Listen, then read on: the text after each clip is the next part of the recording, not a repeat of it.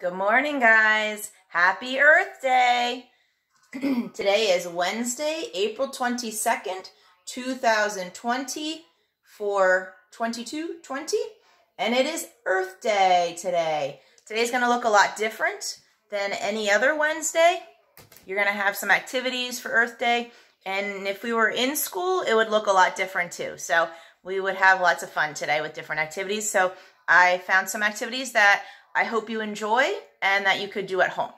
Okay, so we are today the 22nd, which is Wednesday. Okay, let's start off with our prayers. In the name of the Father, and of the Son, and of the Holy Spirit. Amen. Our Father, who art in heaven, hallowed be thy name. Thy kingdom come, thy will be done, on earth as it is in heaven. Give us this day our daily bread, and forgive us our trespasses, as we forgive those who trespass against us. And lead us not into temptation, but deliver us from evil. Amen. Hail Mary, full of grace, the Lord is with thee. Blessed art you among women, and blessed is the fruit of thy womb, Jesus. Holy Mary, Mother of God, pray for us sinners, now and at the hour of our death. Amen. Glory be to the Father, and to the Son, and to the Holy Spirit as it was in the beginning, is now, and ever shall be, a world without end. Amen. O Jesus, through the Immaculate Heart of Mary, I offer you my prayers, thoughts, joys, and sufferings of this day. In union with the holy sacrifice of the Mass throughout the world, I offer them for all the intentions of your Sacred Heart. Amen. In the name of the Father, and of the Son, and of the Holy Spirit. Amen. All right, guys, get your spelling books out.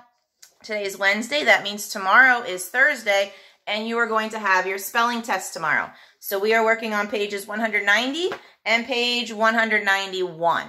Okay? So on page 190, spelling test practice. Test tip. If you have time, check your answers again. Now, you always have time to check your answers in class.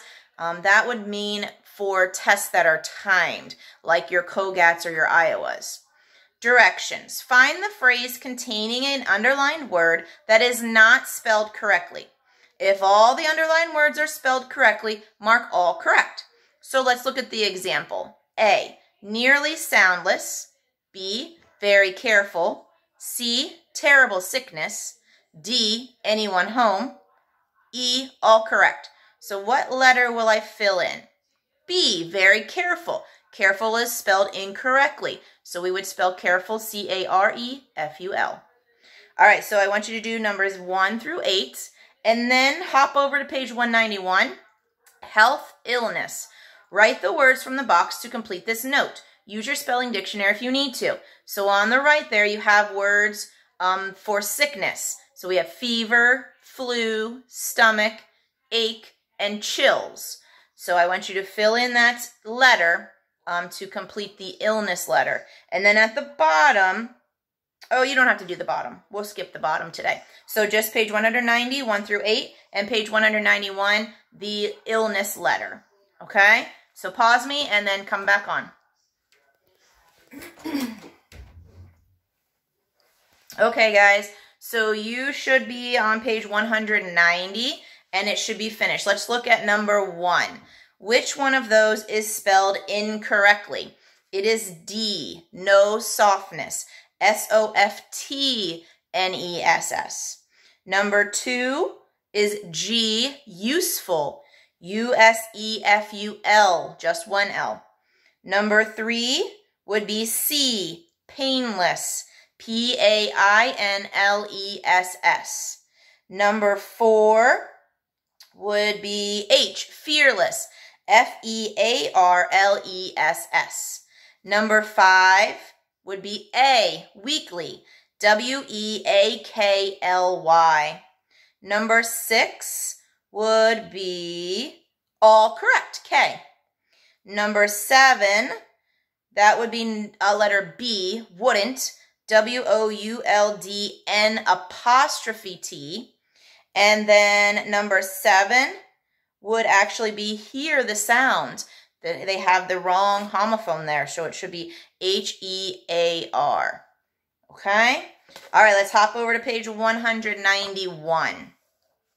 Dear Principal Raskin, Please exclude, excuse Lewis for not being in school last week.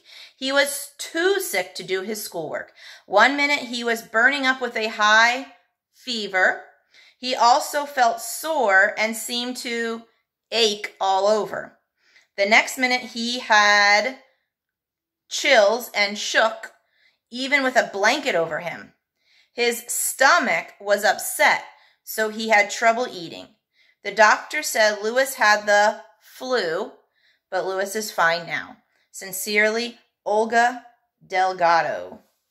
Okay, so that's it for Unit 29. Um, now, if you read my little note yesterday, um, I realized from Julia's response to me that I didn't give you vocab words. So, of course, we're not going to do vocab words for our spelling test tomorrow. We're just going to do our Unit 29, 1 through 18 words, okay? So no extra vocab words. And I think it's a great idea that we just not do vocab words for the rest of the year since we only have four days to study our words, okay? All right, so I hope that makes you happy. But tomorrow's our spelling test. And again, today's going to look a little different. So um, you may look at some some of the assignments be like, hey, this isn't reading, it's Earth Day activities. So I found a couple of um, fun Earth Day activities I thought maybe you would enjoy. And that's what we're going to do instead of some of our subjects today. Okay? All right. Well, I hope you enjoy Earth Day. Bye, guys.